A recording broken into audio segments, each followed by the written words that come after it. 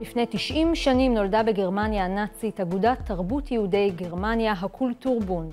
היא הוקמה בעקבות חוק של המפלגה הנאצית שהדיר את היהודים מתפקידי מפתח רשמיים בעיתונות, באקדמיה ובמוסדות התרבות, וגרם להם כמעט בעל כורחם להפוך לקהילה.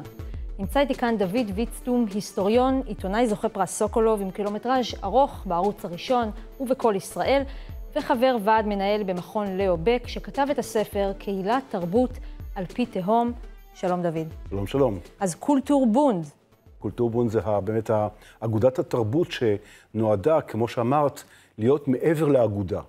קודם כל, לאסוף את היהודים אה, שפשוט נשארו ללא פרנסה, ללא עבודה, אבל יותר מזה, היהודים האלה היו ממש בתוך האקדמיה, בתוך התזמורות, בתוך האוניברסיטאות, שהן כולם היו מוסדות של המדינה, ולפי החוק כולם אה, פוטרו.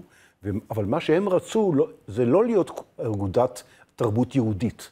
הם רצו ליצור בתוך התרבות הגרמנית.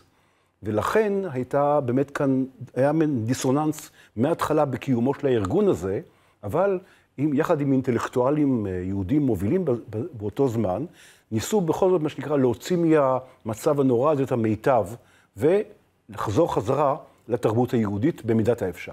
כן, אז אתה בעצם מתאר מצב שבאמת יהודי, אה, היהודים שחיו בגרמניה היו מאוד אה, מוטמעים בתרבות הגרמנית, גם באומנות, גם באקדמיה, וגם באמת ככה אה, בהרבה מאוד תחומים, ופתאום, כמובן, עם המשטר הנאצי ועם החוקים השונים, פשוט מוצאים את עצמם חסרי בית ליצירה, וזה בעצם הצורך שעליו ענה הקולטורבונד. אני רוצה לשמוע האם זה משהו שקרה מיד, האם הם מצאו את עצמם בתקופה של בין לבין, איך זה עבד?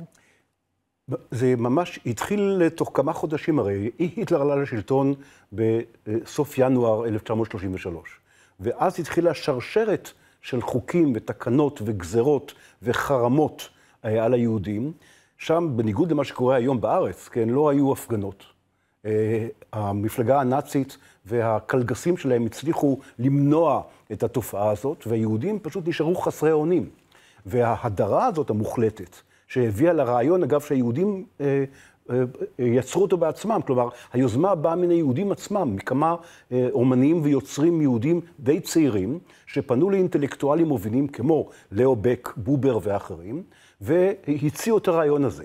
הבעיה הייתה שהממשלה קיבלה את הרעיון, ונולד פה ארגון שיש חוקרים שאומרים שבסופו של דבר אולי היה הארגון הראשון ששיתף פעולה עם המשטר הנאצי בעצם קיומו.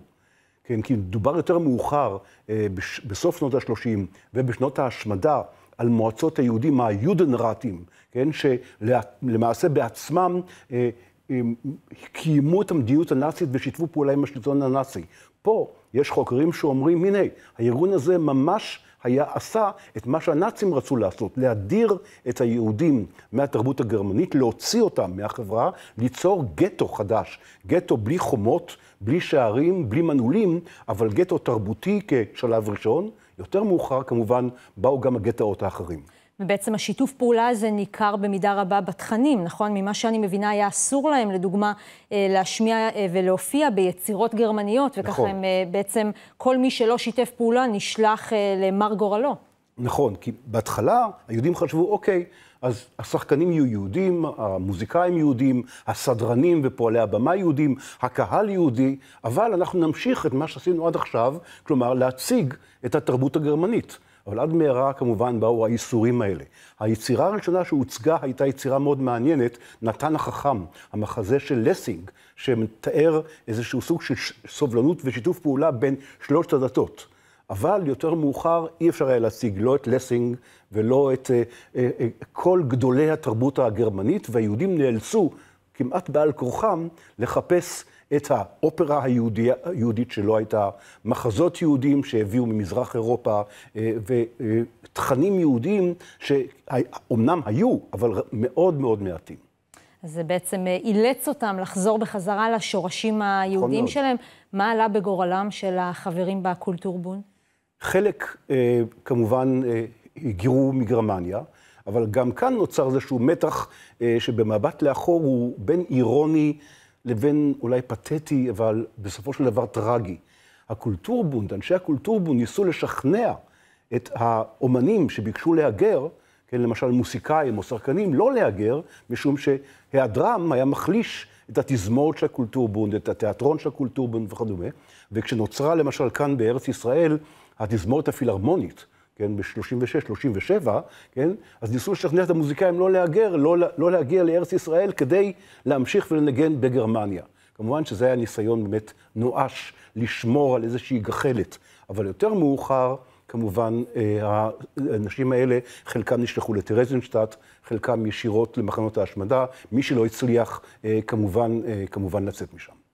כן, זה נשמע שבאמת זה היה דרך של אנשי אומנות ויצירה להיאחז בחיים, גם בתקופה באמת מעורערת, אבל מעניין האם מנקודת מבטם של הגרמנים דווקא זה לא בעצם היה הפוך מהמטרה המקורית שלהם, ליצור כאן קהילה יהודית חזקה שעובדת ופועלת ביחד? היו באמת, אה, אה, זו שאלה מעניינת משום שהיו באמת אה, חילוקי דעות בתוך הגסטאפו שהסתכל מקרוב, כן, על מה שקורה עם היהודים, או המשטרת הביטחון, ה-SD, או, המשט... או משרד התעמולה של גבלס. האם אנחנו יוצרים כאן איזשהו מיעוט מלוכד, שייצור אכן איזושהי קהילה חזקה, ואולי הקהילה הזאת תהיה איזשהו בסיס להתנגדות למשטר הנאצי? היו חילוקי דעות כאלה, ובסוף הוחלט ש... הצנזורה כל כך חזקה, כן, הפיקוח כל כך הדוק ויעיל מאוד, כן, היו אפילו אנשי אס אס וגסטאפו שידעו עברית, כן, ויכלו להבין היטב מה קורה אה, אם מישהו היה מדבר שם עברית, כמובן רוב האומנים והיוצרים היו מתבוללים ולא דיברו ממש אה, עברית. אבל השאלה הזאת עלתה, אבל בסופו של דבר הוחלט שכדי להדיר את היהודים מהתרבות הגרמנית, זו הייתה מטרה, מטרה חשובה יותר, כן, ולכן הוחלט לשמר את הקולטורבונד, וצריך לזכור, הקולטורבונד לא היה לבד. הוא היה, הייתה, היה לו ארגון תואם, מין תאום, שהייתה העיתונות היהודית. כמו שהקולטורבונד היה יהודי לחלוטין, גם העיתונות היהודית, הרי הרבה עיתונאים יהודים עבדו לפני כן בעיתונים גרמניים שלא היו יהודים. אבל גם העיתונות וגם הקולטורבונד שאיזנו אחד את השני, נכתב הרבה מאוד בעיתונות על הקולטורבונד, וגם הספר שלי למשל עוסק באופן שבו העיתונות והקולטורבונד יחדיו חיו בצל הכפייה, הצנזורה, גם צנזורה עצמית, אבל במיוחד צנזורה ופיקוח של השלטונות הנאצים. אז בואו רגע באמת נעסוק בזה, איך עיתונות מתקיימת בצל משטר אה, נאצי, משטר אה, דיקטטורי, קיצוני, עיתונות, תרבות, איך הם שורדים ומשגשגים תחת באמת תנאים כאלה? במונחים שלנו זאת לא עיתונות. במונחים שלנו זה באמת היו איזשהו סוג של אה, מקומות שבהם היה ביטוי, כן, לעיתונאים בנושאי התרבות, בנושאים אפילו של ספורט למשל, או נושאים אחרים שעניינו את הקוראים היהודים, אבל למשל אירועים כמו האולימפיאדה, 1936, העיתונות היהודית לא, לא יכלה לדבר, לדווח עליהם. פרוץ מלחמת העולם השנייה, עדיין היה עיתון יהודי, אחרון שנשאר, לא יכול היה לדווח על המלחמה. כלומר, זה לא היו עיתונים במובן שאנחנו מכירים אותם אה, במדינות דמוקרטיות, ואפילו מדינות קצת פחות דמוקרטיות, כן? זה היה באמת אה, אשנב שגם הוא יצר איזשהו סוג של קהילה.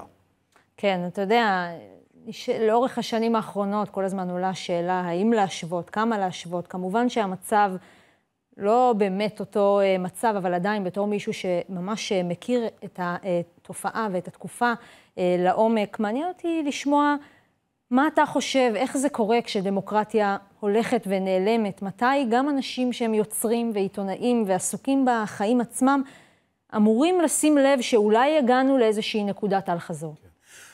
אני הייתי מציע לא להשתמש במילה להשוות, אלא הייתי מציע במילה ללמוד. משום שאם אנחנו לומדים היום, ואנחנו באמת רואים בזמן האחרון שוב עניין גדול מאוד במה שקרה ב-1933, כלומר, מה קורה ברגע שדמוקרטיה נעלמת, ברגע שהיא מתמוטטת. כי אנשים הרי ממשיכים בסדר היום שלהם. הם לא מוצאים את עצמם פתאום מאחורי איזו חומה, אלא אם כן אוסרים אותם. כן, זה, אז זה מאוחר מדי. אבל החיים כביכול נמשכים. אז לא היו הפגנות, כן? אז לא, היה, לא הייתה יכולת גם לתקשר עם העולם, כן? כך שהמצב אז והמצב היום הם מצבים מאוד מאוד שונים. גרמניה הייתה גם אחרי טראומה נוראה של השנים של ויימר עם משברים כלכליים, חברתיים אה, ואחרים. אבל ללמוד תמיד כדאי ממה שקורה, כלומר, ובמיוחד ללמוד מה קורה, מתי קורה, מתי זה מתחיל, וממה להיזהר כמובן, כאשר חיים במשטר שפתאום באמת נעשה אחר מזה שהכרנו אותו קודם. כן, אתה באמת מציין שלא הייתה מחאה, אבל הייתה אופוזיציה קומוניסטית. הייתה אופוזיציה קומוניסטית בהתחלה, אבל היטלר מיהר לאסור את ראשי המפלגה הקומוניסטית מצד אחד, אבל גם את האופוזיציה שהייתה לו מקרב אנשיו שלו. כך שהוא הצליח בעזרת תרגילים, תמרונים כאלה ואחרים, באמת גם להסוות את הפעולות שעשה, או להצדיק אותם בנימוקים שונים, למשל, פרובוקציה קומוניסטית שהייתה של שריפת הרייכסטאג, ממש פחות מחודש אחרי שעלה לשלטון. כך שכמעט לא הספיקו, לא הבינו כן, שהדבר הזה הולך ומתרחש. ועכשיו, אגב, גם תורגם ספר של ליאון פויכטוונגר, האופרמן, משפחת אופרמן, שמספר על משפחה יהודית ב-1933, בספר נכתב ב-1933. החיים כאילו נמשכים, אבל למעשה העולם כבר לא אותו עולם. ואיך הגיבו, אם יש לך באמת דוגמאות יותר קונקרטיות לאנשי תרבות, אולי סופרים, אנשים שראו את המצב שמתרחש ואיך הם בחרו לנהוג מולו? אז היו באמת תגובות מסוגים שונים. הקומוניסטים, כמו שאמרת, הם היו אלה שנרדפו ממש ראשונים, שנרדפו ממש. אז חלק גדול מהם גם עזב את, עזב את גרמניה, חלקם נאסרו גם ונשלחו למחנות ריכוז שהוקמו, אגב, כבר בתחילת שלטונו של היטלר. היהודים עדיין לא הבינו, כן, לאן הרוח נושבת, וחלק מהם חשבו, טוב, זה זמני, זה יעבור, כבר עברנו את המן, עברנו את פרעה, כן, אז יכול להיות שזה יסתדר או משהו כזה וכדומה. אבל אה, גם למשל הציונים, כן, אמרו, הנה, הזדמנות להגיע לארץ ישראל, אבל כמובן שיהיו קשיים להגיע מצד הבריטים. כן? וגם הציונים לא מיהרו כל כך, כן, לעזוב מהר מהר את גרמניה ולהגיע אה, ב, ב, ב, להגיע לארץ. גם היו הסכמים הרי שנחתמו אה, כבר בש, בשנות ה-30, בתחילת שנות ה-30, בין התנועה הציונית לבין הנאצים, ואולי, אמרו, אולי, כן, ההסכמים האלה אולי יכולים אה, להיות איזשהו סוג של פתרון. אז ככה שהיו תגובות מכל מיני סוגים. אבל מעט מאוד, מעט מאוד אנשים הבינו ממש לאן הרוח נושבת. היו כאלה שהבינו, כן? אבל היו מעט מאוד, מעטים מאוד. כן, ולהבדיל, אני רוצה בכל זאת לשאול אותך, גם אה, אם אני לא טועה, הספר הוא בהוצאת יד ושם, mm-hmm. ויד ושם כמובן עלה לכותרות uh, בתקופה האחרונה, סביב באמת uh, סערת ה... Uh, אולי אפשר להגיד פוליטיזציה, שככה מצאה את דרכה לתוך יד ושם, סביב העיסוק של שר החינוך קיש. במעמד או ברצון אולי להדיח את היו"ר המכהן של יד ושם, כן. דני דיין. אולי זה חלק באמת מתהליכים של דיקטטורה. אני לא יודע אם זה דיקטטורה, אבל אני יודע שבאמת הסיפור של פוליטיזציה, כן? לכל כיוון.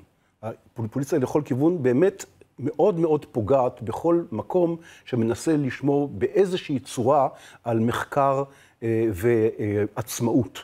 כן, גם מחקר עצמאי, כן, וגם פעולה עצמאית, פעילות עצמאית, ויד ושם בשנים האחרונות מצטיין בזה כמובן, כן, אז הדבר הזה ייפגע בכל מקרה אם איזושהי יד גסה ודורסנית אה, תישלח מכל כיוון שהוא, לאו דווקא אה, ממשרד החינוך, אלא מכל, זה יכול לבוא מכל, מכל כיוון, וזה גם מגיע מכיוונים אחרים, למשל מכיוונים של, אני זוכר את ה... את ה, את ה הכנס הזה שנערך במימונו של, אה, של פוטין, כן, בזמנו, שגם כן היה אה, סיפור שפגע באיזשהו מקום במוניטין של, של יד ושם אה, באותה תקופה. כן, ולכל זה גם נוסיף באמת את הרפורמה של שר התקשורת, שבאמת תכניס מימדים פוליטיים לתוך שוק התקשורת בישראל, תוקף באמת ניסיונך ועבודתך, איך אתה רואה אותה? אז שוב, אני אומר, עד שהצלחנו להגיע כן, במדינה המסוכסכת הזאת, כן, למצב שבו יש לנו אקדמיה חופשית, במצב שיש לנו תרבות חופשית, במצב שיש לנו באמת אה, ניסיון להגיע לתרבות זיכרון, אם מדובר על יד ושם, תרבות זיכרון חופשית, כן, ושיש בה באמת אה, גישות שונות, דעות שונות, כן, היום להתחיל לשעבד אותן, כן, באמת לפוליטיקה, ולא משנה מאיפה היא באה, זה מה שאני אומר, לא משנה מאיפה היא באה, כן? לדעתי זה אסון. אסון שצריך באיזשהו מקום לעמוד נגדו, ואני שמח על כך שאנחנו רואים, כן, את האנשים גם ברחובות, כן, גם בתקשורת, בכל מקום, גם בארץ וגם בחוץ לארץ, כן, עומדים רגע רגע, כן. יש כאן מה שנקרא אור אדום, יש כאן קו שאותו אסור לחצות. לסיום, אני רוצה לשאול אותך, באמת במסגרת העבודה שלך על הפרויקט הזה, על הספר הזה, אולי תרצה לשתף אותנו באיזשהו משהו אחד שככה נשאר איתך, אולי הפתיע אותך, אולי ריגש אותך במיוחד? הספר הזה הוא ספר לדעתי מאוד מרגש, משום שהסוף הטרגי הזה שלו, אנחנו הרי מכירים אותו מראש, אבל אנחנו מסתכלים על העיתונים, כן? והעיתונים, את יודעת, יום-יום יש עיתון חדש. יש בו מדור לילדים, יש בו מדורים של נסיעות, יש בו בדיחות, יש בו אה, אה, מדורים לכבוד החגים עם תווים, אה, אה, רשמי, רשמי מסע, אה, יצירות ספרות, כן? ואתה מסתכל על העיתונים האלה יום-יום, ואני עברתי על הרבה מאוד מהעיתונים, כן? אה, יום-יום, שעה-שעה, אתה מסתכל על העיתונים האלה, ואתה אומר, אתה, אתה מרגיש כמו ילד, כן, שרוצה להגיד לגיבור, תסתכל מאחוריך, תסתכל, רודפים, רודפים אחריך, כן? ואתה לא יכול, כן? עד הרגע האחרון, ואפילו אחרי הרגע האחרון. וזאת הטרגדיה הגדולה באמת, שאתה רואה כשאתה מנסה לחקור ולהגיע, כן? לפרטים, כן? של אותה תקופה שחורה כל כך. מרתק אה, מאוד, תודה רבה לך על השיחה הזו. תודה לכם, ואני רוצה רק להזכיר שמחר יהיה אירוע השקה לספר, וכמובן כניסה חופשית, וכל אחד מוזמן, במכון לאובק בירושלים. תודה רבה, דוד ויצטום, תודה רבה לך. רבה. ולפני סיום נזכיר לכם להוריד את האפליקציה שלנו, דמוקרסי, תודה לצופות ולצופים, ותודה מיוחדת לשותפות ולשותפים של דמוקרט TV, הערוץ הזה קיים רק בזכותכן ובזכותכם.